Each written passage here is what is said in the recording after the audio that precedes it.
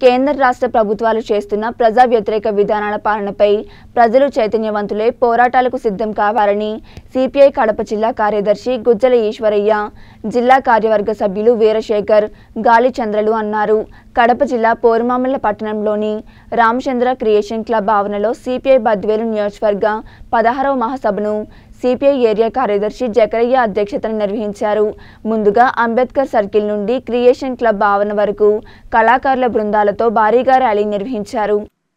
అనంతరం ఏర్పాటు చేసిన బహిరంగ సభలో సిపిఐ నాయకులు మాట్లాడుతూ కాంగ్రెస్ పార్టీ అవినీతిమయమైందని నేను అధికారంలోకి వస్తే అవినీతి అంతం చేసి నల్లధనాన్ని వెనక్కి తెస్తానని ప్రతి ఖాతాలో పదిహేను లక్షలు జమ చేస్తాను. అందుకోసం మీరంతా జనధన్ ఖాతాలు ప్రారంభించుకోవాలని ప్రధానమంత్రి నరేంద్ర మోడీ చెప్పిన మాటలన్నీ బోటకమని వారు కేంద్ర ప్రభుత్వాన్ని విమర్శించారు. ఏడాదికి రెండు కోట్ల ఉద్యోగాలు ఇస్తానని చెప్పి యువతను కేంద్ర ప్రభుత్వం మోసం చేసిందని నేటి యువతను పక్కదారి పట్టించేందుకే అగ్నిఫద్ అనే కొత్త పథకాన్ని తీసుకురావడం దేశంలో యువతకు ప్రమాదకరంగా మారిందన్నారు.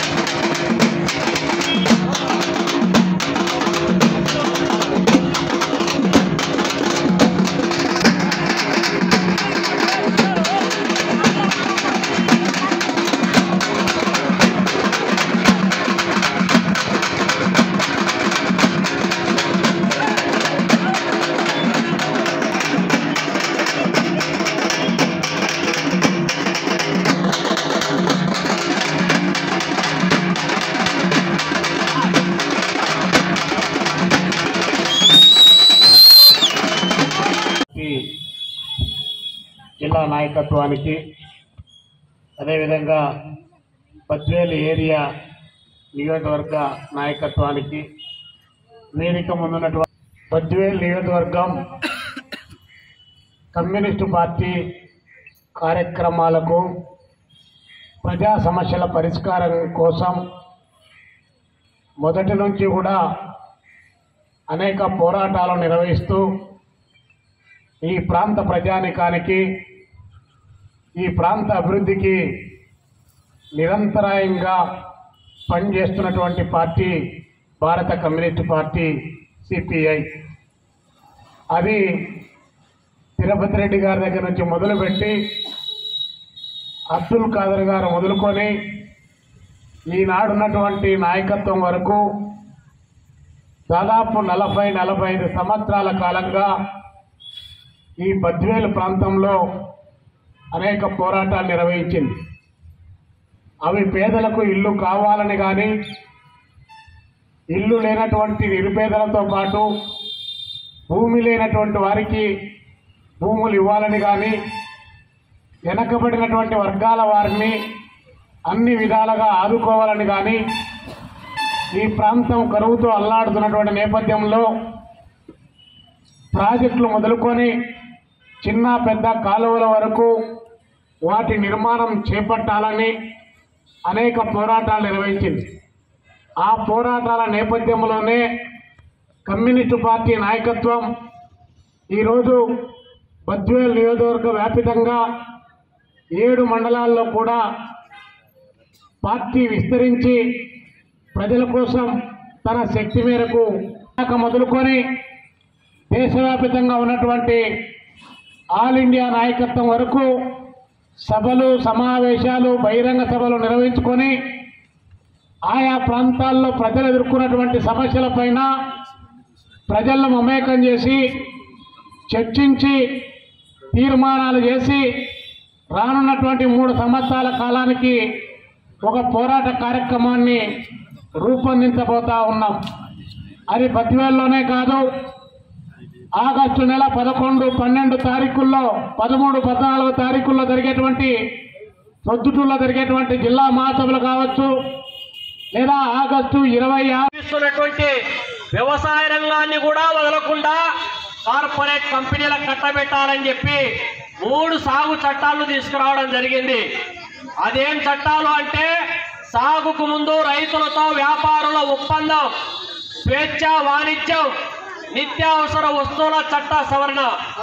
ఏకకాలంలో ఈ మూడు చట్టాలను ఎందుకు తీసుకొచ్చారంటే రైతులు వ్యాపారస్తులతో ఒప్పందం ఏంటంటే ఎక్కడైనా ఒక కార్పొరేట్ కంపెనీ ఒక మండలాన్ని ఒక జిల్లాన్ని దత్తంగా తీసుకొని గుండుగుత్తగా ఒప్పందం చేసుకొని రైతుల దగ్గర భూములు కాజేసి తద్వారా పండినటువంటి పంటను ఒక ప్రాంతం నుంచి ఇంకో ప్రాంతానికి స్వేచ్ఛగా రవాణా చేసుకొని ఎక్కడైనా బ్లాక్ చేసుకొని తద్వారా కృత్రిమ కొరత సృష్టించి ఇటు రైతులను అటు వినియోగదారులను ఏకకాలంలో దోపిడీ చేసేటటువంటి సాగు చట్టాలను తీసుకొని వస్తే దేశంలో ఉన్నటువంటి రైతాంగం ఢిల్లీ కేంద్రంగా చేసుకొని మూడు వందల అరవై ఐదు రోజుల పాటు ఆందోళన సాగించినటువంటి ఈ ఉద్యమం ఈ దేశంలో ఉన్నటువంటి ప్రజాస్వామ్య విలువల కోసం హక్కుల కోసం పోరాటం సాగిస్తున్నటువంటి